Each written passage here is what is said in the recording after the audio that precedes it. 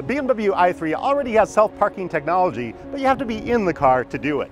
Now, at CES, BMW is showing gesture-controlled parking with an Apple Watch when you're outside the car. To activate it, I shake my wrist, and then I just sweep it away.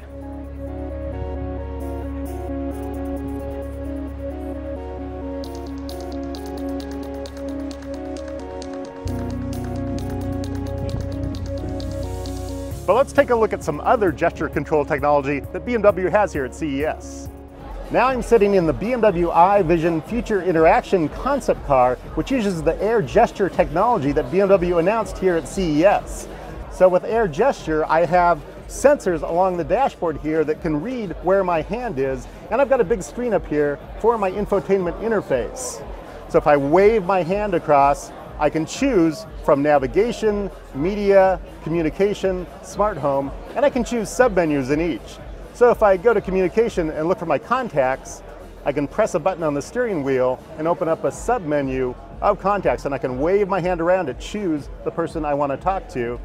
And once I find one, I can push a button here on the steering wheel again to initiate that phone call. BMW already has some simplified gesture control in the new 7 Series, but this air gesture concept takes it a step further. This is something we could see in the future that could actually eliminate a lot of buttons and dials that we see in cars today.